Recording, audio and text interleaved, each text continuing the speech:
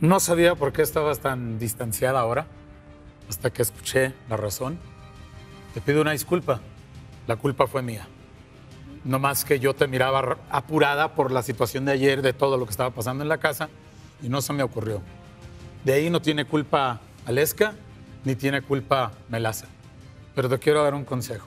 Olvídate de mí.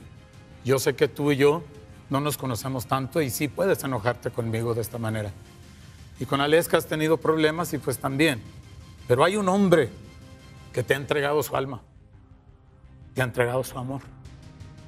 Y a él sí le duele. A él sí lo mata esto.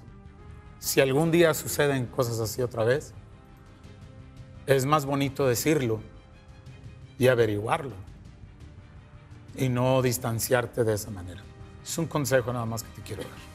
Bueno, no solo a Melaza, a ustedes también, a pesar de que te conozco hace, bueno, no mes. tanto tiempo como Melaza, Claro. siempre les he dicho que les tengo muchísimo cariño y si este cariño es tan genuino y es, es la razón por la cual este tipo de cosas, pues me duele, ¿no? Simplemente no me acerqué más a hablar porque a veces siento que el silencio dice más que mil palabras. Para mí, obviamente me lastimó el hecho de que sí, hace Claro. llevo cuatro meses cocinándoles día, tarde y noche y se me hace increíble que no me pudieran considerar para hacer una cena. Eso porque fue- yo dije que iba a cocinar para todos y de pronto verlos cocinar y comer, salgo esperando ver mi plato y no había. Supuse que era un desliz de la noche, por eso no dije nada. Esperaba que en la mañana las cosas estuvieran mejor. Y vuelve y pasa otra vez en la mañana sin plato. Entonces yo no comprendía si es que ya no querían que estuviera en el cuarto, si algo había pasado.